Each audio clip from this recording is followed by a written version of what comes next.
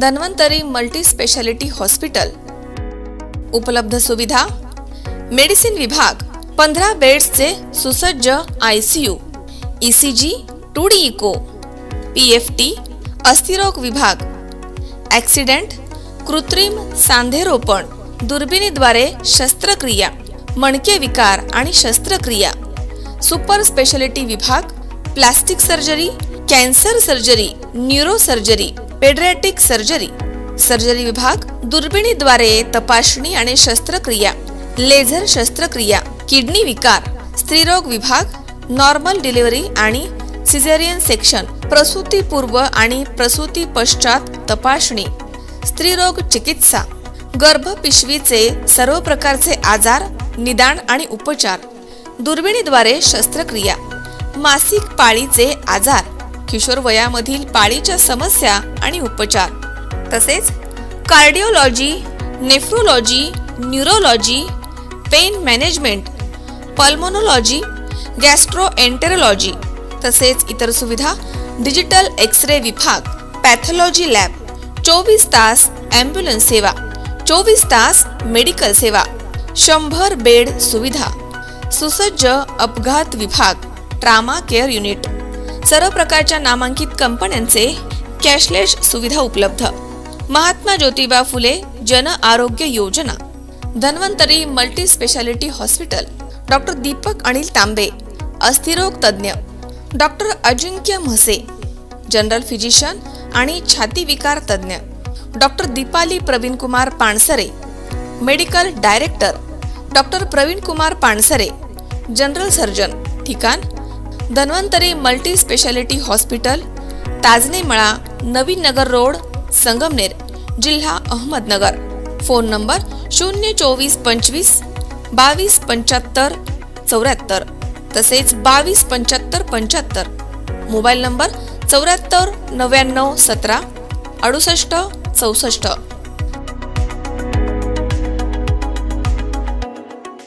Bogus शिधापत्रिकेचा वापर करून प्रशासनाची फसवणूक केल्याचा आरोप संगमनेर भाजपचे शहराध्यक्ष अॅडव्होकेट श्रीराम गणपुले यांनी शिवसेनेचे शहर प्रमुख अमर कतारे यांच्यावरती केलाय. यावरती खुलासा देताना शिवसेना शहर प्रमुख अमर कतारी म्हणालेत की मी स्वतः शासनाच्या कोणत्याही रेशन दुकानामध्ये जाऊन धान्य घेतलेलं नाहीये किंवा त्या ठिकाणी माझे थंब देखील दिलेलं नाहीये. मी एक गरीब कुटुंबामधील व्यक्ती आहे.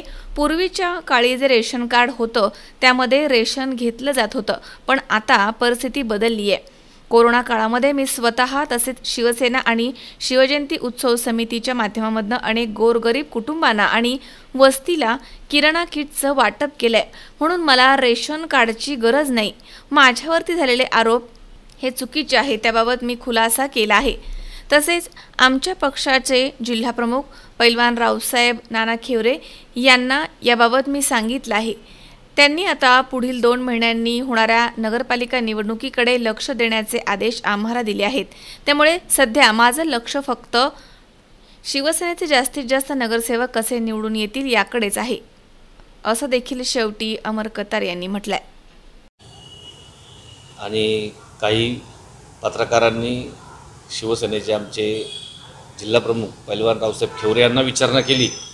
आणि हा ही रेशन कार्ड संदर्भातला जो विषय चालू आहे सध्या संगमनेरमध्ये माझ्याबद्दल आणि आदरणीय गणपुले साहेबांनी ज्या माहिती वगैरे जी चौकशी लावली त्या संदर्भात आज पुन्हा बातमी आली. मला सांगायचं एवढं आहे की खेवरे नानांना सदर गोष्टीची कल्पना ज्या दिवशी पहिल्यांदा ही घटना घडली त्या दिवशी आम्ही ती कल्पना दिलेली आहे. आणि आदरणीय शिवसेनेचे आमचे जिल्हाप्रमुख पैलवान खेवरे नाना यांना माझ्या कार्याबद्दल संपूर्ण माहिती आहे. एखादा भाजपचा पदाधिकारी किंवा अन्य कोणताही एखादा पत्रकार किंवा कोणी पण असो एखाद्या अशा गोष्टीची तक्रार करेल त्या तक्रारीची चौकशी न करता शिवसेनाच नाही कोणत्याच पक्षात कारवाई होत नसते. आता काही लोकांना दोन दिवस मजा घ्यायची असती तर ते घेऊ द्या. परंतु मला सर्वात महत्त्वाचा सांगायचा मुद्दा की भाजपचे शहराध्यक्ष आदरणीय श्रीराम भाऊ गणपुले यांनी ज्या गोष्टीची तक्रार केली त्या गोष्टीचा खुलासा मी काल केलेलाच आहे. आणि धान्याबाबतचा जो विषय आहे की ब धान्याचा वगैरे जो लाभ उचलला मी तर मला सांगायचं आहे की की संगमनेरकर सर्व संगमनेरकरांना माहिती आहे की कोरोना काळात मी व माझ्या पक्षाने आणि शिवजयंती उत्सव युवक समितीच्या माध्यमातून मी गोरगरिबांना किती मदत केली? मी कोरोना काळात ज्यावेळेस सुरुवातीला कोरोना काळ निघाला त्यावेळेस संगमनेरमधल्या जवळजवळ पाचशे लोकांना सकाळ आणि संध्याकाळ जेवणाचे डबे फ्रीमध्ये पुरवलेत. जवळजवळ पाचशे लोकांना. त्यानंतरचा विषय असा आहे का कोरोना काळामध्ये अनेक लोकांना घरात जाऊन आम्ही किराणा किटचं वाटप केलं आहे मग त्यासाठी माननीय तहसीलदार साहेब असतील व्यापारी आघाडी असेल व्यापारी संगमनेरचे मित्रमंडळ यांच्याकडं जाऊन यांच्या विनंती करून लोकांच्या घरापर्यंत किराणा धान्य वाटप केलं. मी माझ्या स्वतःच्या पदर अनेक गरीब गरजू लोकांना किराणा धान्य वाटप केलं. त्यानंतर संगमनेरमधल्या किती नवरात्र उत्सव असेल गणपती उत्सव असेल आणि संगमनेरच्या जितके मंडळं आहेत ना त्यापैकी जवळजवळ सत्तर टक्के मंडळांना मी गणेशोत्सव काळात देणगी वगैरे देत असतो. त्यानंतर संगमनेरमध्ये आपला संगमनेर तर असं आहे की प्रत्येक चौकात गल्लीमध्ये भंडारा देवाचा कार्यक्रम होत असतो. या प्रत्येक भंडाऱ्याच्या कार्यक्रमाला माझ्याकडनं तेल डब्बा तूप डब्बा अन्नधान्य स्वरूपात मी सतत दान करत असतो. आता मी एक दान धर्म करणारा व्यक्ती आहे. ठीक आहे? आज माझं नाव आलं ह्या गोष्टीत चर्चेत झालं चर्चा व्हायलाच पाहिजे ह्या गोष्टीची. तो याच्या मागेही बोलतो आणि आजही बोलतो की मी त्यांना काही क्रॉस करत बसणार नाही. लोकांना लोक म्हणतात त्यांनी तुमची चौकशी लावली तुम्ही त्यांच्याबद्दल काहीतरी उद्योग करा हे करा. परंतु सध्या निवडणूक आहे दोन महिन्यावर निवडणूक येत आहे आणि माझं लक्ष सध्या निवडणुकीवर आहे. काही करून शिवसेनेचे जास्तीत जास्त उमेदवार आम्हाला यावर्षी निवडून आणायचे आहेत. या संदर्भात आपला खुलासा काय आहे? का बुवा त्यांनी जे आरोप केलेला आहे का तुम्ही प्रशासनाला फसवलेलं आहे. अं, दारिद्र्य रेशनचं तर ते तुम्हाला तुम्ही घेतलेलं आहे. तर ह्यावर आपलं काय म्हणणं आहे? तर माझं एकच म्हणणं आहे जर असा कोणताही पुरावा असेल का मी स्वतः जाऊन कोणत्याही रेशनच्या दुकानात जाऊन धान्य घेतलं. आता तुम्हाला एक माहीत आहे धान्य घेताना थंब द्यावा लागतो. पूर्वी सही करून धान्य भेटत असतात. परंतु आता थंब. असं जर संगमनेरमध्येच नाही महाराष्ट्रात कुठेही थंब देऊन मी जर प्रशासनाच्या असा अ, लाभ घेतला असेल तर त्यांनी तशी माहिती पण द्यावी. मी कोणत्याही प्रकारे स्वतःचा थंब देऊन किंवा वापर कुठेही धान्य वगैरे घेतलेलं नाही आणि मला ती गरज पण नाही. पूर्वी पूर्वीचा काळ वेगळा होता.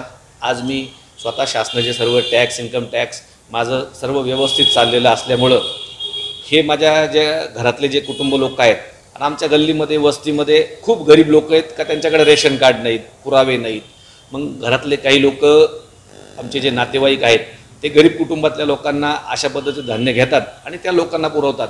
मागही फार संगमनेरमध्ये आत्ता दोन महिन्यापूर्वी अतिशय वाईट परिस्थिती असताना मी संगमनेरमध्ये संजय गांधीनगर वडार वस्ती व दलित एरिया जो असेल या एरियामध्ये किराणा किट स्वतः आणि तेल पिशव्यांचं वाटप केलं तेल तेल पिशव्याची किंमत दोनशे रुपये झाली होती. त्यावेळेस मी जवळजवळ अडीचशे लोकांना घरी जाऊन स्वतः तेल पिशव्याचं वाटप केलं. मी सतत तुम्हाला काय वाटतं का बाबा यावेळेस जे नगरपालिकेचं इलेक्शनमध्ये आपल्याला खेवरे नाना असेल किंवा वरिष्ठ आपले शिवसैनिक तर आपल्याला उभं करण्यासाठी प्रोत्साहन करणार आहेत का? असं काय वाटतंय का आपल्याला? हो आता जिल्हा प्रमुख पैलवान रावसाहेब खेवरे यांनी आम्हाला तीन चार दिवसापूर्वीच यांचं माझं बोलणं झालं आणि त्यांनी आम्हाला स्पष्टपणे आदेश दिले की तुम्ही नगरपालिका निवडणुकीत कामाला लागा तुम्ही स्वबळाची तयारी करा आणि जर वरून वरून आदेश आला आघाडी करायची युती करायची तो सगळा आम्ही बघू. तुम्ही फक्त ज्या वार्डात आपली जा ताकद आहे त्या वार्डात आपला उमेदवार कसा निवडून येईल यासाठी प्रयत्न करा. उमेदवारांची चाचपणी करा. अशा पद्धतीचे आदेश आम्हाला आदरणीय खिवरे पैलवाने दिले आहेत. लवकरच मी आमच्या ज्येष्ठ जुने शिवसैनिक नवीन शिवसैनिक आणि कोर कमिटीची बैठक घेऊन थोड्या दोन चार दिवसात आमची भूमिका स्पष्ट करू. शावीर शेख सी चोवीस तास संगमनेर.